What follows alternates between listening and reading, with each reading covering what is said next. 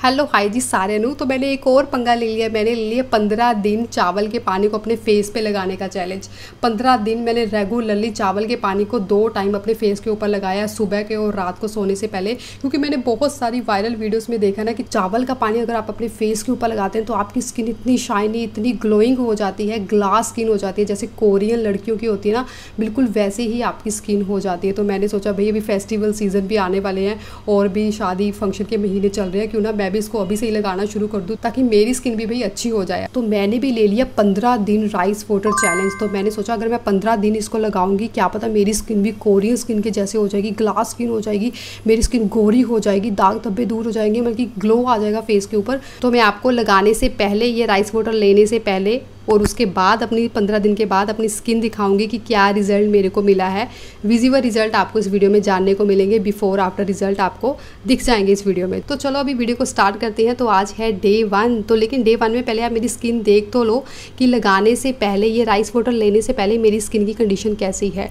अभी मेरी स्किन थोड़ी डल सी लग रही होगी, थोड़ी ड्राई ड्राई सी लग रही है। मेरे को तो भाई ग्लोई स्किन चाहिए ग्लो चाहिए फेस के ऊपर और डलनेस दूर चाहिए और मेरे को चाहिए कि मेरी स्किन भी एकदम से ग्लास स्किन बन जाए।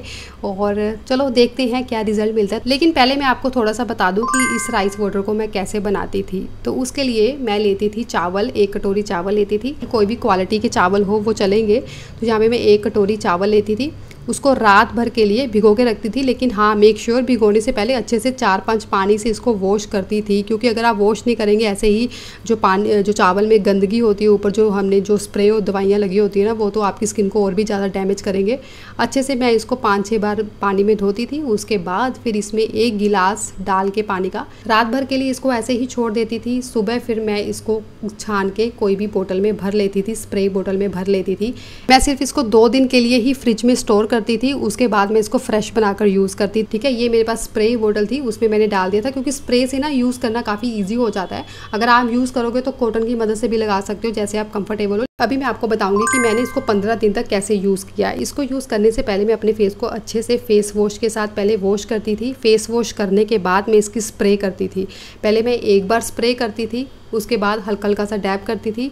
जब वो थोड़ा सूख जाए, सूख जाता था, उसके बाद मैं दोबारा फिर इसकी लेयर मतलब हो जा, दो लेयर के साथ मैं करती थी, बल्कि पहले एक बार स्प्रे किया, सूख गया, उसके बाद दोबारा फिर स्प्रे करके बस दो बार ही लगाती थी एक टाइम पे। और मैं इसको सिर्फ़ दिन के टाइम ही यूज़ नहीं करती थी, रात को सोने से पहले भी यूज़ करती थी सेम ऐसे मतलब एक बार लगाया, सूख गया, दूसरी बार फिर लगाया। जितने दिन मैंने ये राइस वाटर चैलेंज लिया ना ना ही मैंने फेस क्रीम का यूज़ किया, ना ही कोई सिरम लगाया, ना ही कोई मॉइस्चराइज़र लगाया, ना ही कोई क्रीम क्रूम बल्कि कुछ भी अपने फेस के ऊपर नहीं लगाया, क्योंकि तभी तो पता चलेगा ना कि सिर्फ़ राइस वाटर क्या कमाल करता है हमारे फेस के ऊपर। अगर मैं कुछ लगाऊँगी तो कुछ बेनिफिट्स उसके भी मिल जाएँगे, कुछ इसके मिल जाएँगे तो मिक्स हो जाएँगे भाई। समझ नहीं आएगा।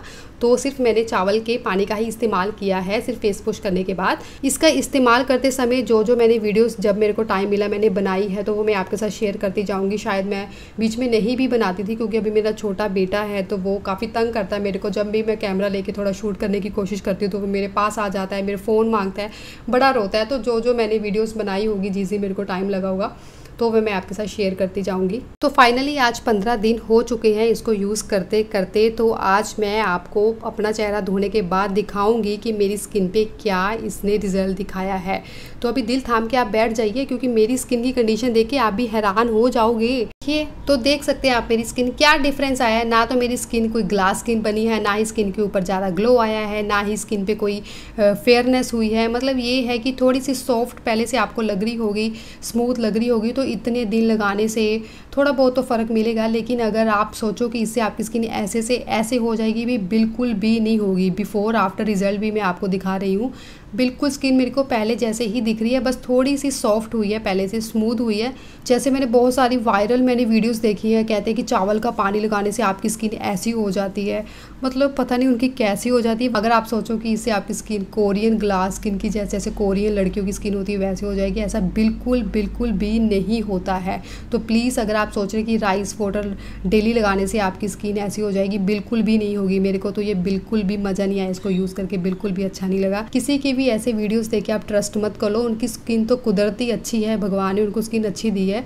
उनकी पहले से ही ग्लास स्किन है तो अगर वो वीडियो बना रहे हैं तो उनकी जैसे हमारी स्किन हो जाएगी, ऐसा बिल्कुल भी नहीं होता। जैसे भी आपको भगवान ने बनाया, बहुत स्पेशल बनाया, बहुत अच्छा बनाया। अगर भगवान ने आपको इंसान का जन्म दे दिया ना तो इससे बेहतर और कोई चीज़ नहीं होनी चाहिए। खुश रहो इंजॉय करो अपनी लाइफ में, बस। खुश रहोगे ना तो वैसे ही आपकी स्किन चमकती रहेगी। तो ऐसी और भी वीडियोस को देखने के लिए चैनल को सब्सक्राइब कर लो और वीडियो को लाइक कर दो। तो मिलती हूँ नेक्स्ट वीडियो में, तब तक के लिए टेक केयर बाय बाय